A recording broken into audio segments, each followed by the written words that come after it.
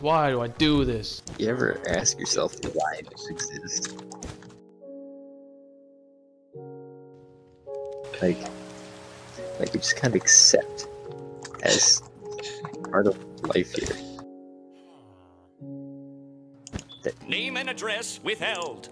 Built a statue of SpongeBob SquarePants with his pants off with a three meter long black perpetually ejaculating lava straight down. And on the other side of the lake is Patrick Star with an incredibly long, twisty penis ejaculating.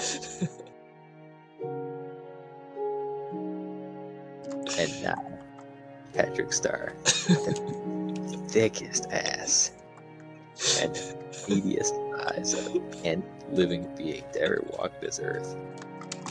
And this is just in our city.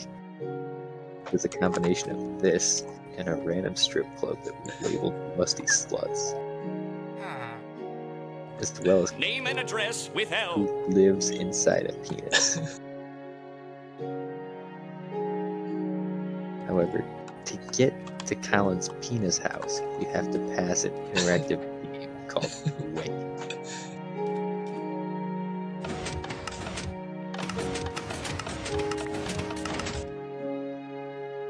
all of those is a death pit called the Cum Zone Rite of Passage for all young boys.